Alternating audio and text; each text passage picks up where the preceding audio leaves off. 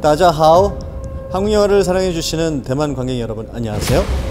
영화 유체의 탈자에서 기억을 잃은 채 12시간마다 다른 사람의 몸에서 깨어나는 강희안 역을 맡은 임계상입니다. 유체의 탈자는 사라진 자신을 추적하는 남자 강희안이 모두의 표적이 된 진짜 자신을 찾기 위해 사투를 벌이는 추적 액션 영화입니다. 진짜 나는 누구인가? 왜 계속 위험에 처할까? 왜 나도 모르게 총을 잘 다루고 싸움을 잘하는 걸까? 그 이유가 궁금하시다면 극장에 오셔서 확인해 주세요. 저희 영화 유체의 탈자와 즐거운 시간 되시길 바랍니다. 감사합니다. 一个灵魂，七个身体， 아무것도 기억이 안 나. 모르면 처음부터. 抢救自己的捍卫任务。十二月三日，猎魂者。